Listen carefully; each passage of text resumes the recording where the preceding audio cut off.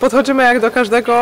E, Przede wszystkim e, cieszę się, że jesteśmy w Lubinie i wiem, że na pewno przyjdzie dużo publiczności, co bardzo cieszy i e, no na pewno cieszymy się po prostu na to spotkanie tu, tutaj w Polsce. E, O Danii wiemy, że jest naprawdę, jak pokazały też przez ostatnie lata, jednym z najcięższych rywali na pewno. Grają twardą piłkę ręczną. Uważam, że są bardzo, bardzo silne w ataku.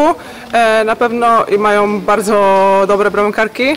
E, W sumie tak naprawdę nawet e, nie wiem, które nazwisko wybrać, bo wszystkie trzy są e, e, światowej klasy, więc e, naszym może, e, na co my musimy zwracać uwagę, to jest na pewno e, na to, żebyśmy my były skuteczne w ataku i żebyśmy nie dały im grać kontrą, bo w tym są na pewno bardzo dobre. E, Ten ostatni mecz przeciwko Dunkom to nie był nasz, nasze najlepsze spotkanie, ale nie sądzę, że to musi być tak, że musimy je zapamiętać, bardziej wyciągnąć wnioski.